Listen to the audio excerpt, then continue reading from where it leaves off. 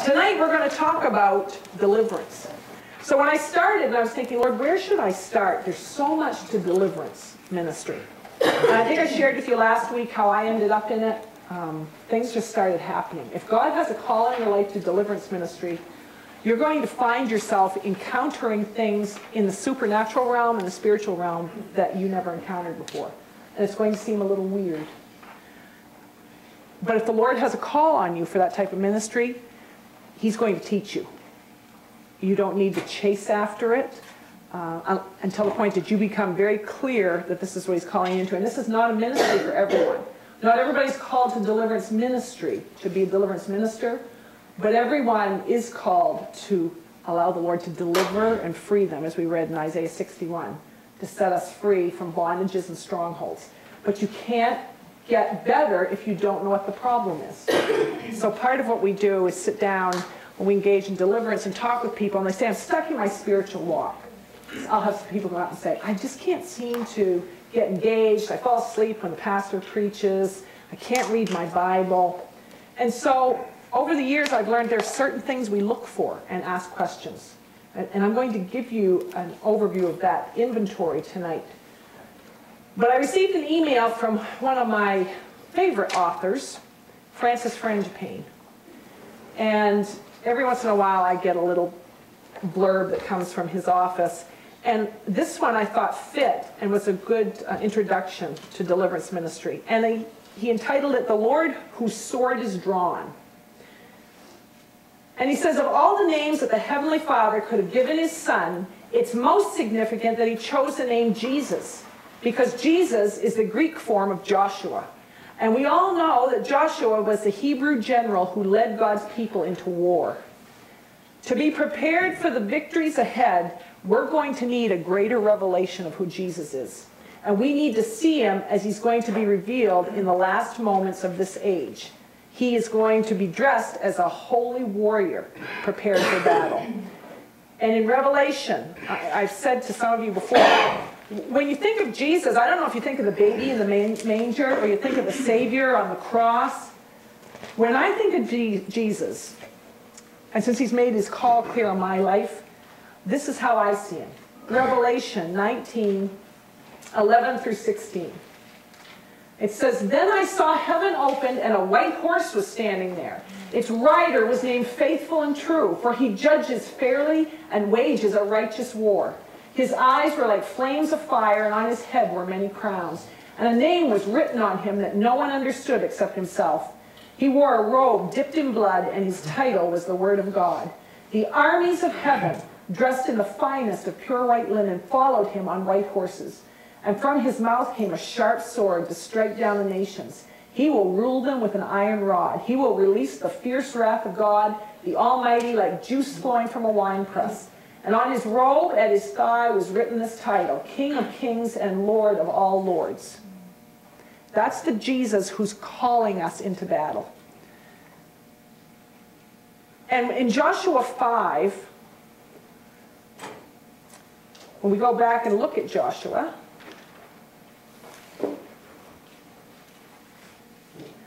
Joshua 5, verses 13 to 15. Says, When Joshua was near the town of Jericho, he looked up and saw a man standing in front of him with a sword in his hand. And Joshua went up to him and demanded, Are you a friend or a foe? Neither one, he replied. I am the commander of the Lord's army. And at this Joshua fell with his face to the ground in reverence. I am at your command, Joshua said. What do you want your servant to do? The commander of the Lord's army replied, Take off your sandals, for the place where you are standing is holy. And Joshua did as he was told. Will you recognize Jesus when he comes, do you think? Will you really know him? Joshua walked up and said, Who are you, friend or foe? There's something about the time that's just prior to a move of God, and we are standing on the threshold of a mighty move of God. I've been saying that for years. I'm still saying it and it's closer now than it's ever been. But there's something about the time just prior to a move of God that causes many of us to wonder if the Lord is for us or against us. Who is he anyway? And I don't feel like he's here. Where is he? He seems almost confrontational sometimes, too intense, too different from the Jesus we learned about in Sunday school. Who is this warrior armed for battle?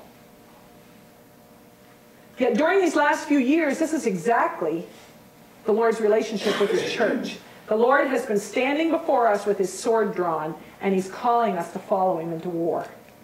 Perhaps you've been going through a time where it seemed like the very tip of Christ's sword is poking right in your heart. Let me reassure you, God is for you. He's not against you. In fact, his whole purpose is to release that sword of the Spirit, which is the Word of God, through your words and your prayers. I've talked to some of you about the power of prophetic utterance. Some of you who have prophetic giftings. And when you open your mouth and declare something, it carries spiritual authority and weight. But before the Lord's sword is going to come through your mouth, before you can command anything in the name of Jesus, before you can declare and take authority over something, that sword is going to go through your heart first. Don't think you're going to be able to utter the words if it hasn't pierced here. And you'll know when it's pierced here. It's not a fun process because sometimes you'll think, God, what are you doing? I thought you were all about my, for me to be happy and love me and be kind and gentle. You have to die to self. That means literally climbing up on that altar and saying, whatever you have me to do, I'll do it. And I, you didn't say it was going to feel good all the time. There will be a price to be paid. So don't be terrified and don't withdraw when Christ wants to unveil this part of his nature to you. For he is in fact fitting you and preparing you for battle. By the time you're fully trained, you will be a fearless warrior in his army. But you have to be realistic about your current state because most of us have been pampered and spoiled as Christians. We've become lazy and undisciplined in our spiritual walk. We have not understood the day of warfare that's looming in front of us nor are we prepared for the final raging of Satan as his time gets shorter. Revelation 12, 12 tells us that. That he's going to get really nasty because his time's short. Isaiah 42, 13 tells us that the Lord is going to go forth like a warrior. He will arouse his zeal like a man of war. He will utter a shout, he will raise a war cry, and he will prevail against his enemies. We have all known the Lord as our Savior and our shepherd and our friend and our comforter. And these revelations of our Master are true, but there's still another nature to him. And this new nature is so startlingly different from how we've known him in the past. But be of good cheer because this frightening warrior king with his sword drawn and with a shout of war on his lips is the same blessed Savior who died on the cross for your sin. But truthfully, there's no way to soften the shock of this vision of Christ.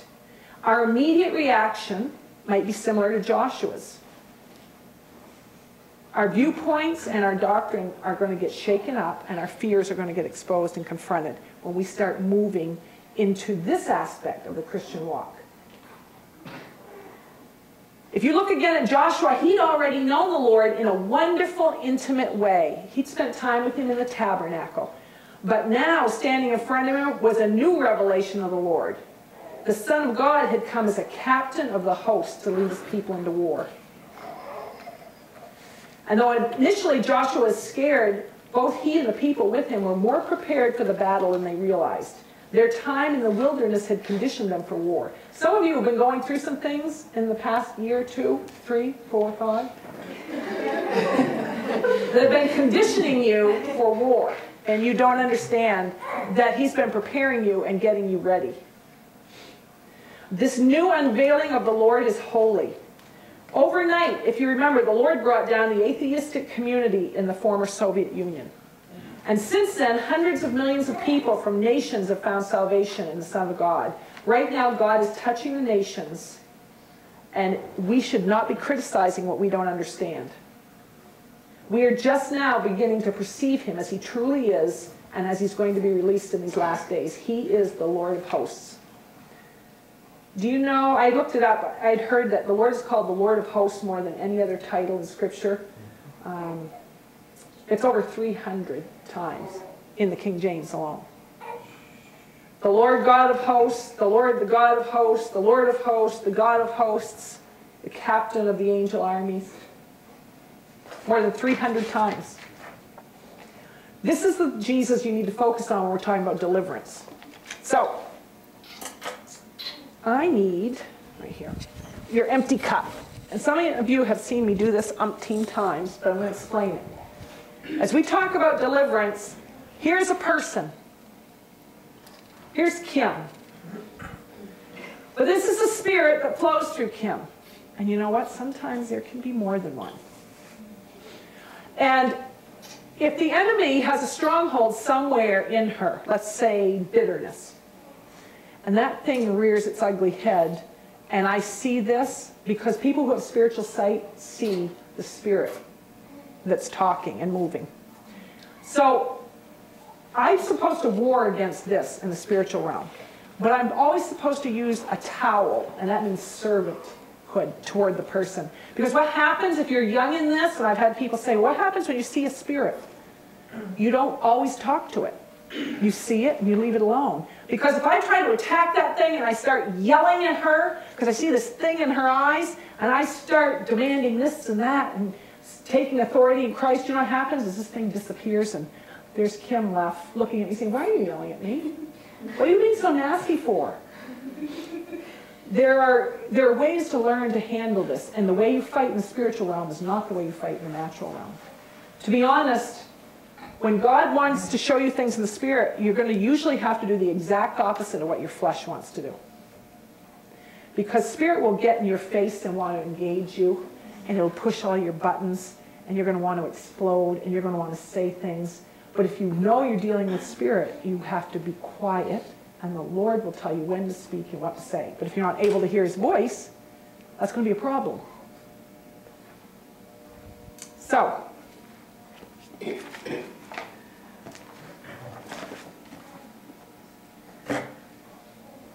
I'm talking about this.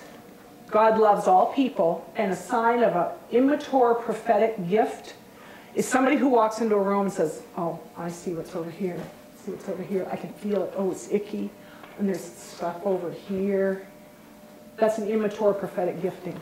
A mature prophetic person can walk up and say, oh, Kim's got a little jealousy over here, a little bitterness over here, but wow, she got a call from the Lord. She's gifted. She's called to worship. She's got a prophetic gift. We got to get that out. We got to call out that call that's on her and all the gifts and I don't really care about those other little things because if I point her to Jesus and she gets close to him, he's going to take care of those things. He'll deal with that. It'll come out. Now, I've told you I've been in deliverance ministries where I've seen people stand somebody up and they encircle them and they yell at that spirit of confusion and that deaf and dumb spirit to come out for hour after hour after hour. That's kind of exhausting. And like I said, you end up having to do it again every few months if somebody doesn't uh, chase after Jesus. So what I've learned for me, because you're going to talk to a lot of people with different opinions, you point people to Jesus, you build a relationship, you extend truth, love, and the fruit of the Spirit, and the enemy cannot stand where he's encountering grace and love and truth. And as you learn this, oops, you will make some mistakes, but that's okay. You have to practice somewhere. We're always to use the fruit of the Spirit when dealing with people. Don't ever forget that.